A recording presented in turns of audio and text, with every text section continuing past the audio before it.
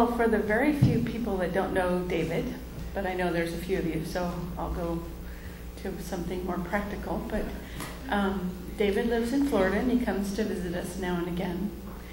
He uh, was a photographer, professional photographer, working, teaching at Yale when um, his infant son was extremely ill and he had a dream to come to Virginia Beach and met with Paul, and Paul gave him a reading that saved his son's life. And after that, I don't know how long after that, he came to work with Paul for a couple of years and traveled teaching inner light consciousness and dream workshops for the church. And then he went and got a psychology degree, and he has now spent 20 plus years in service as being a school psychologist and special ed teacher.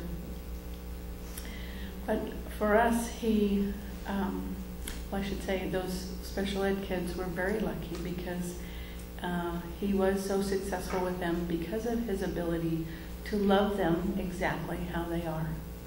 And yesterday I was thinking that myself was that David loves me just the way I am.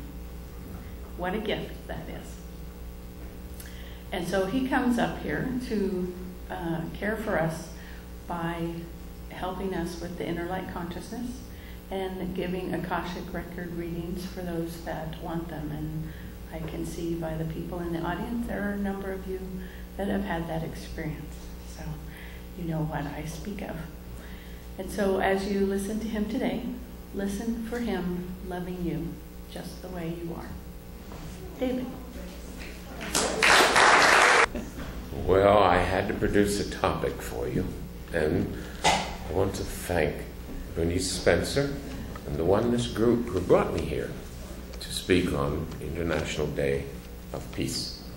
And I'm going to share some of that with you and share some other things too. Before I begin, because I may live in Florida, but there's never a day I'm not here in spirit. Literally. And many of you know, and for those who don't know, a year and a half ago, my wife was on a bicycle and hit by a car. Did seven months in the hospital, and I brought her home just a little more than a year ago.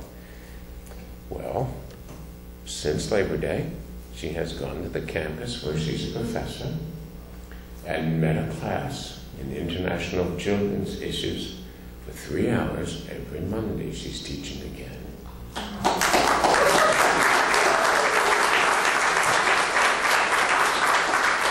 And you, my brothers and sisters, had a prayer chain for her over and over, and I know it mattered. Thank you. This is a family. Still in a chair. She doesn't have all of her hands back, but her mind is 100%, and her heart just may be improved. okay. All right, I promised to speak about Syria, peace, and prophecy. And when I chose that title, Mr. Putin had not emerged from the Kremlin with an extraordinary solution to that terrible dilemma. And whoever expected the ex head of the KGB to come up with a plan that may be practical to stop the tanks and the missiles. I would love to tell you we would heal that nation. I'm afraid it's too late. One third of their people, almost two million people, have fled. And there's no sign that the government at war with its own people is going to change policy. But it has brought to all of us another specter. Not one that I've thought about much since the days of Paul Solomon, although he did talk about it, and that was the specter of Armageddon. Now, for those of you who were not steeped in the King James Version, as I was and Paul was, that was to be the final battle of the world. And the name Armageddon really means on the plains of Megiddo, a real life plain. You can see it from a tall building in Jerusalem, and the site of many a battle over the centuries. And in fact, Paul did some prophecy readings in which he described what that battle would be like. Yes, it would start with tanks and planes and progress to missiles and end with nuclear war that would engulf the entire world. And he made that prophecy several times. If you read those readings in their entirety, I wish more people would read readings in their entirety. he said, This is what it will be like if we can't let go of our selfish purposes. This is what it will be like if we put our faith in geopolitics to keep us safe. Well, golly, in this congregation, I think we all know that. Um, he made other prophecies about it. And in one of his lesser known readings, he described a meeting, a meeting by chance that he had with Anwar Sadat, the then president of Egypt. Paul went out to the pyramids as a sightseer. David Solomon was with him and some others. And walked up to a little college, a cottage, not a college, behind a fence, sat almost on the pyramid grounds, and a man came out. He was tending to the flowers, and he introduced himself. That was Anwar Sadat, the president of Egypt. And he was being a politician and impressing the flesh. And he looked at Paul and he said, Do you know who I am?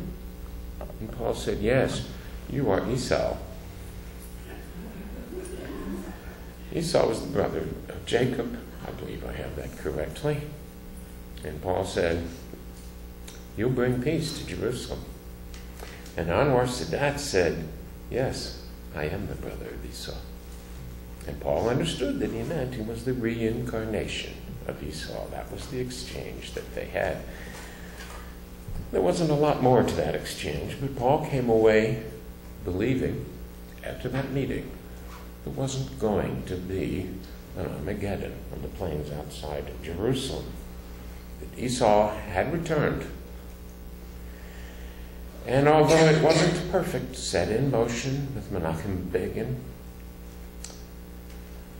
initiatives that would forestall, and I can't even remember now how many wars there have been since that year of 1978. I believe we have not only forestalled it again, I believe we've seen a precedent setting initiative.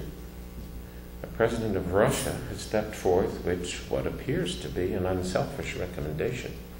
For Syria, is their property and Assad is their man. Well, Lord, all the great nations of the Lord of the world have retained you and there really bad people in charge of governments in order to maintain control of those places. And we've had our men too in Vietnam and other places.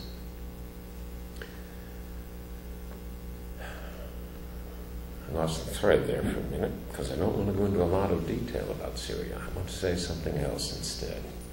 I believe, and most of us now believe after only 10 or 12 days since this initiative has come forth, that we are going to muddle through, got the thread again.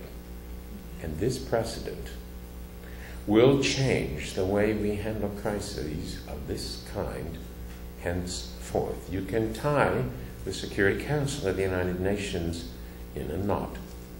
But you can't tie God in a knot. And I believe that just as we meet our lessons, the great leaders of this world meet their lessons too.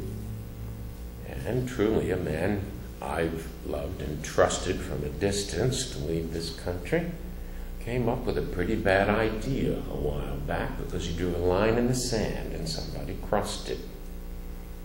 And then he felt he had to make good on that threat. And just about everybody in his party, and in the other party, and in the nation, and in the world said, We're not buying in this time. And I think his plans have had to change. Now, I'm sorry you went through that pain, but I'm not sorry that his plans have changed. Well, I want to suggest something else. We cannot restore the state of Syria.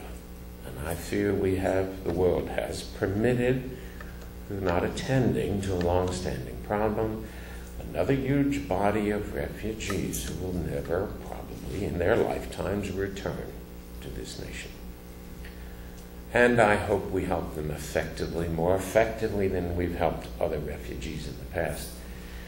But right now, I want to focus on what we've really been sharing here. Angela shared it, and Bruce shared it, and it was shared in music as well.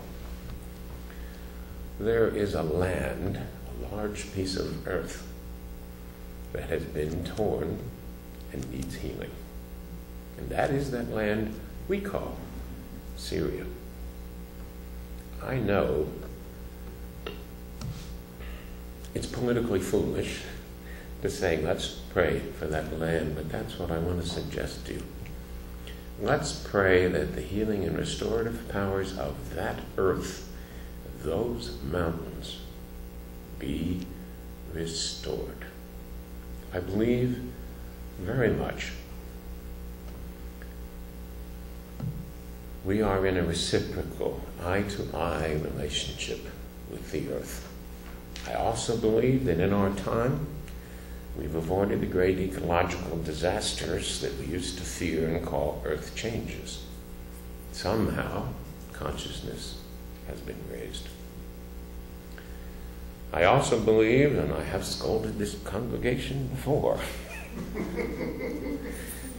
that the young people of this earth 20 and under, have appeared here with a new set of beliefs and a new kind of energy.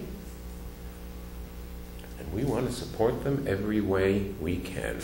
Even though, in the short run, as always with the younger generation, it may look like chaos. And sometimes it does, especially when it gets personal. I did a reading in May and I'm going to quote from it, forgive me. For a woman in her 40s who has a daughter just turned 20, who has consciously and deliberately and planfully set out to start a family without a spouse and has no plans to marry that baby daddy. We have baby daddies now, don't we? Some of them are famous and rich. Well, I'm not sure it's the best idea we ever had, but perhaps the earth would cover it. But that was her concern. Here's the way part of this reading went. This woman is a healer. She's from California. She does what's called Watsu healing in hot springs. The reading said to her, The times have changed. Yes, this story can be read if you watch the movie Avatar and turn off the soundtrack. Skip the combat. Look at the images of animal and plant and truly human life in total communication with each other. That is the lesson your generation has come to teach. Through wholeness, through healing, and through dissolving national, racial, and cultural boundaries. It's a long time since those boundaries have been real. Your generation's children will not tolerate these boundaries and these differences. They are dissolving them helter skelter with the internet. They're not going to put up with visas, border crossings, limitations, passports, or wars for geopolitical purposes. The children we have on this planet at this time will not support those activities any longer. There has been a sea change in the purposes of the souls who have entered this earth in the last 25 years, and their numbers are building every day. Now, I know that many of you will remember what it was like in the 60s and in the 70s when we grabbed our signs and went into the streets. My parents were appalled. They grew up in the Depression. They did their job in World War II. It never occurred to them to say to Franklin Roosevelt, We won't go. Well, it didn't occur to them that a son of theirs would say that either. Well, our sons and daughters will be saying things like that to us, and our grandchildren too. And they will be saying, I'm a free woman. I can raise children and make my way and look eye to eye with any citizen in this country. I don't need the supports of marriage. I don't need the support of a community church. I may not even need the support of a conventional education. And my friends are going to be all over the globe, and I'm going to talk with them on Facebook. And if I see an opportunity, I'm going to make it happen. If I have to go to Hong Kong to incorporate and come home, that's what I'm going to do. No one's going to stop me. That's already begun. More than begun. My own children, 19, 24, and 26, have traveled around the world with Nancy and I, and on their own as well, and I pulled them around the dining table before I came up here. How many of their friends that they talk to on Facebook live in other countries? These three young women write regularly to people in 21 countries. Those are their friends. Now, I know and you know, you can't cheer as the bombers depart to bomb a country where your friends are. There are refugees leaving Syria, and we see them on the news, and oh God, they look like all the refugees we've been seeing all our lives. But more and more, we know those people. We know their faces. And that's building and building and building. And we're past the point where a politician can stand up and say, those people aren't like us, they are evil.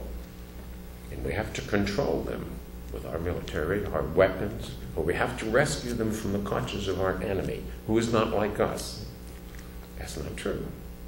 Our enemy is exactly like us. His system may be a little different, but his people are not. His prayers of those people are not different from our prayers. I'm going to say one thing more about that under 20 generation.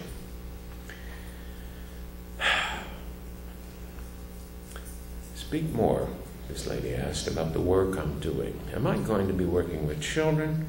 How do I attract those children, if that's the case? Well, let's look, I said. The first thing we see is a field of pink forming in the ethers about us in this moment. And then we see the females born in the last 20 years or so, give or take a few. Let us talk about how this wave of souls has prepared. First, they take a great deal for granted. They feel entitled, not just to peace, but to religious and personal and sexual freedom, although they will pursue it in their own way, and they will not find raising children any easier than your generation has. They also feel entitled to power in this society. And it's that quality that you, as a teacher, will bring forth in them, for you were born a forerunner. I hear two things when I read that. The first one is these souls have prepared as a wave. And if I may, I'm not going to brag exactly, but just as we did. Okay? We did step into the forefront.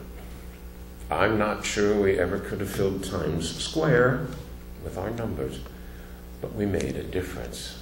What you just heard, I've now heard in 25, 30, maybe 40 readings. As a wave of souls, we have done our work. And if you're in your 40s as a wave of souls, you have done your work too. And what is our work? We attracted those souls with this commitment. That work spans international boundaries. It spans all languages. It spans music and art and religion. We've done our job. Yes, there are nations left to heal. Yes, sadly, there will be more wars. I honestly, truly say to you, there will not be an Armageddon in our lifetimes, and it will not be in the Middle East, God forbid it should ever come. That's what I believe. Paul Solomon said over and over and over that the purpose of a prophecy is to change it. Okay, now that is not going to satisfy the people who say, let's add up the score here. Was he 80% correct? Was he 85% correct? He didn't want to be correct. He wanted to make a difference. So much more important than being correct. I believe we've made a difference. I believe our children and our grandchildren will make a difference. Will we see peace? We do see peace every time we come to this sanctuary. We see peace every time we enter our own temples. And we spread that peace. I don't have to persuade you that a beautiful tree spreads peace. I know that you know. I don't have to persuade you that a breeze off the ocean spreads peace. We are no less important and no less powerful when the peace in our hearts goes out and spreads peace to the people we meet, to the people we forgive, to the people in the city where we live. Many of you probably know all over the Far East there are stupas and domes and various kinds of temples that are made of solid masonry. There's no sanctuary there. They don't meet inside them. They're arranged in a roughly pyramidal shape, or teardrop shape, over Buddha's fingernail, or the fingertip of some saint, or a few locks of hair. Why are they there? Because those people believe that that draws in power from the sky and literally radiates it through the earth for miles around. I believe that too. I have visited some of those temples in Burma, and it was a powerful experience, totally without words, totally alien to my concepts, which are being dissolved right and left. Um, I felt that power. And I think every one of us here has precisely the same power. When we read of a tragedy, when we read of a crime, when we turn on that television and see a bad thing that's happened to someone who looks just like us, and our emotions flow in that perfect prayer of empathy and sympathy, we're healing that earth, we're healing those persons. We're healing all those watching that broadcast in that moment who are touched too. Yes, there's plenty wrong with the world of broadcast, and there's plenty wrong with the world of media. But there's some things right. They're bringing us together. It is possible for us to know all over the world in an hour, not just of another school shooting, but also of a miracle. Wherever and whenever it occurs, we turn on YouTube and we see that little video that's viral at the moment of the vendor who rescues a boy who's been caught stealing painkiller from a shop. And the vendor pays for the painkiller and gives the boy a little plastic bag of soup. Time passes. The vendor's an old man and he goes into a hospital in Bangkok with a bad heart situation. And his daughter comes, prays for him in intensive care puts a for sale sign up on the shop because the bill is immense. And the doctor. I'm not going to cry. Where are you, Joe? Okay. The doctor comes in and says, This bill was paid 30 years ago. I was that boy.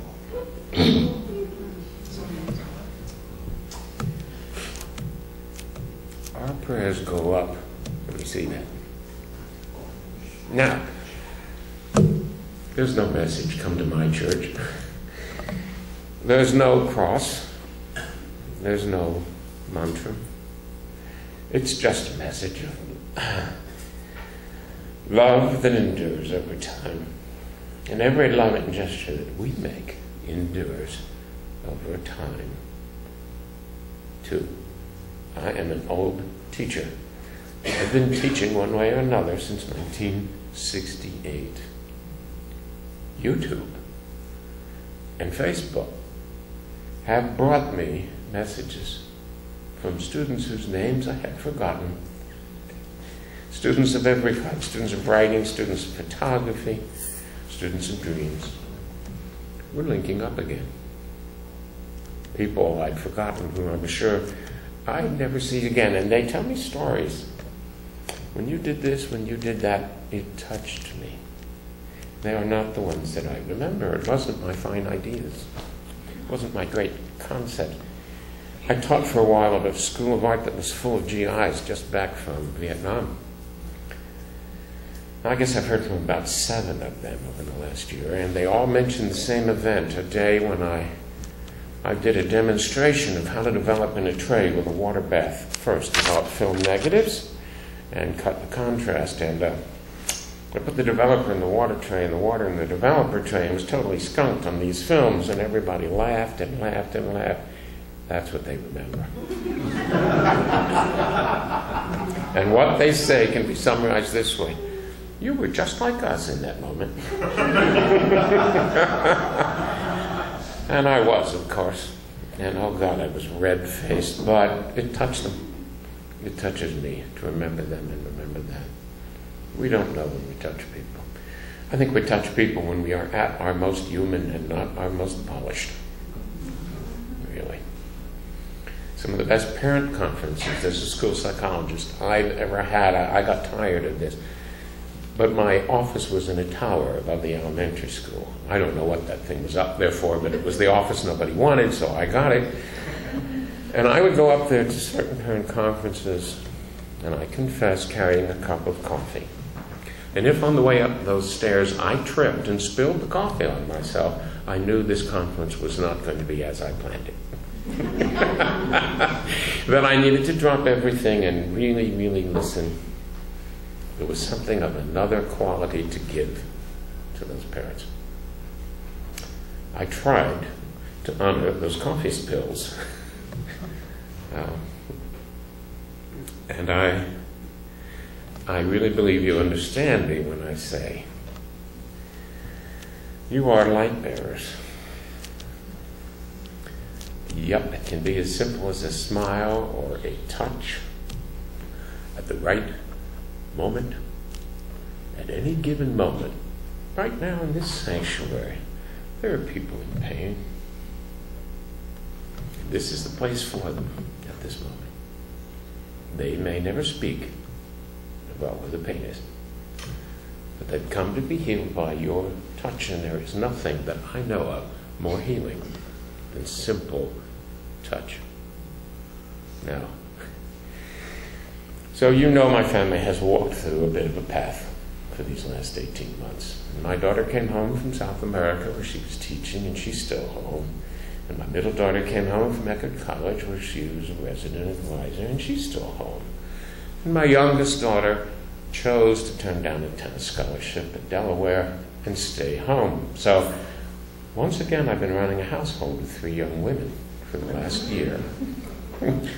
and, you know, they're not always kind, as in, we are not eating that crap. Order a pizza.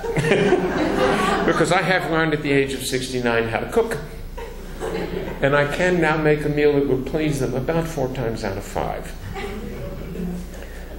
But more than that, it was pretty heavy the first or nine months. Ours was a household in mourning.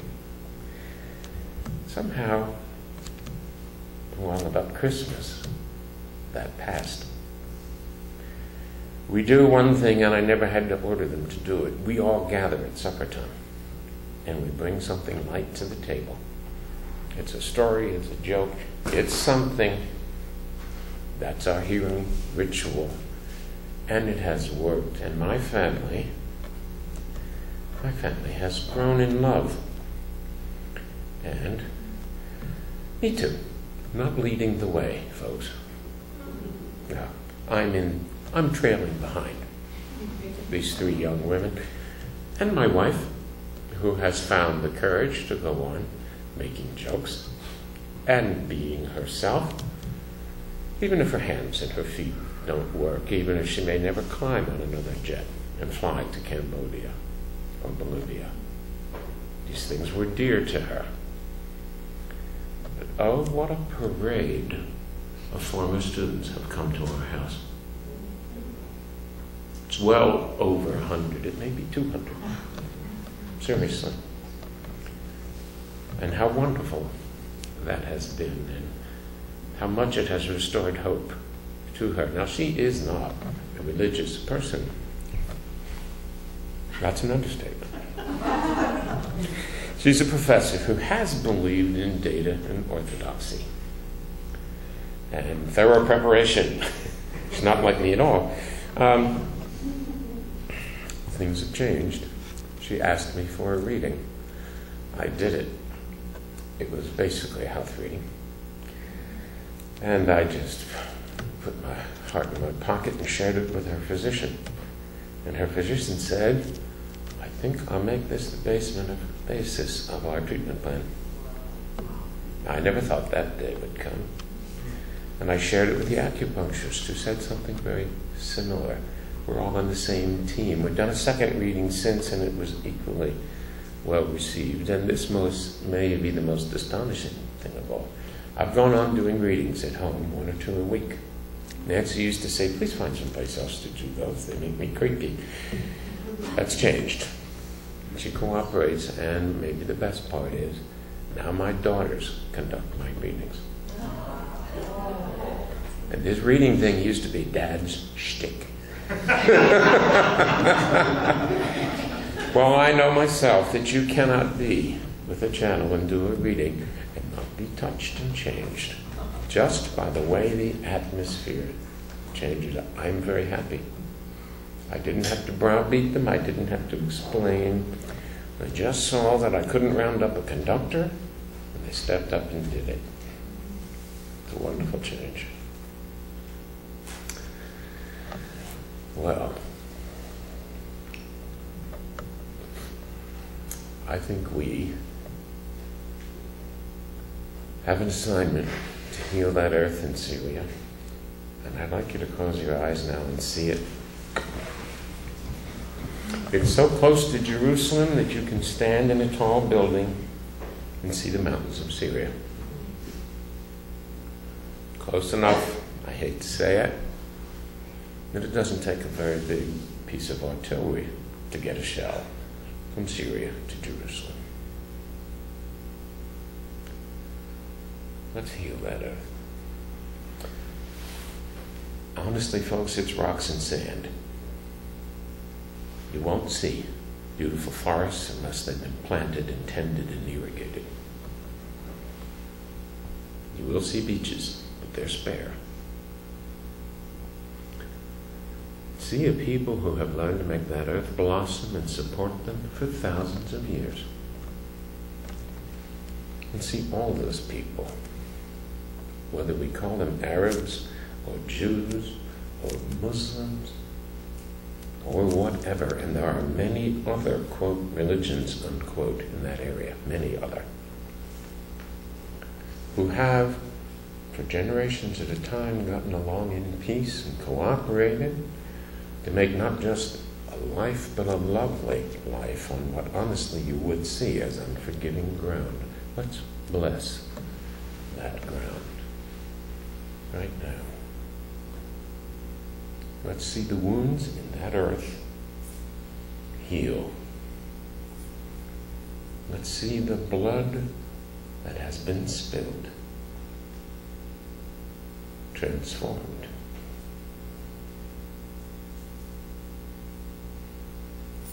Let's see the feet of the children walking that earth. They will. It won't be very long. And they'll walk that earth and run on that earth and they will laugh and play, whether they're going home to a house or a tent. There will be a wave of souls that will gravitate to that place and heal that earth. I've been lucky enough to go to Vietnam and Cambodia in modern times. Those wars are over. Those children laugh and play and plan and grow up and marry and make families just like we do. Let's see that in Syria. Let's give our prayers in support of those souls who will come. Yes, let's pray for the earliest possible end to the combat. Let's pray for those who will come, who will heal that land and those people. And in the process will be light bearers too. Let's see them even now in the tents of the refugee camps, whispering to those couples and saying, Conceive me. I want to be with you in this situation. And I see by the smiles that some of you remember that experience in your own life. They do whisper before they come, don't they? Let's bless them. Let's call them. I don't know what their society will look like. I don't even know what our society is going to look like. But it's in God's hands, and there couldn't be better hands. We're going to be okay.